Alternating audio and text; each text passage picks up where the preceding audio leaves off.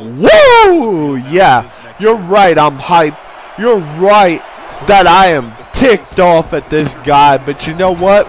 I settled down. You know, I played stupid ball there for about a minute. And then I got the ball, okay? And yeah, it was man BS, and I got lucky. But you know what? It is what it is. And I kept two clock on.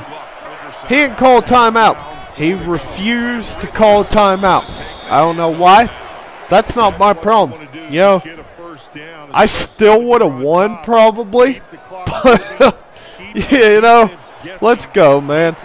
And look at this. This guy's like, I don't know what the heck this is right here. But